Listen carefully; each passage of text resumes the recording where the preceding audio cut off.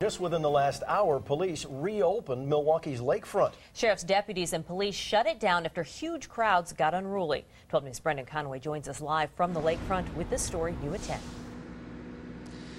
Shelby, the first hot day of the year brought out thousands of people here to the lakefront looking for some relief, but at some point that relief got out of control, and sheriff's deputies say it created a dangerous situation. Sheriff's deputies say the crowd along the lakefront was so bad they had to shut down Lincoln Memorial Drive. Deputies say the biggest problem was cars driving back and forth, slowing down traffic and creating, they say, safety concerns.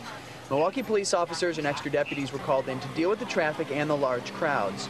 Witnesses say there were numerous fights, and at one point, someone pulled out a weapon, causing hundreds of people to rush in one direction. The beach was already packed, and on top of it, like just over here in the rock station, like with a big rock set, it was just overcrowded. Like people were falling, tripping over each other. People, it was like little kids in the way, it was running over. It was like crazy. In all this chaos, four people were arrested, three for disorderly conduct, one for battery. We're also told three other people were given citations. Now, there were numerous reports from uh, witnesses that there was some sort of gunfire. However, sheriff's deputies say no shots, as far as they know, were fired.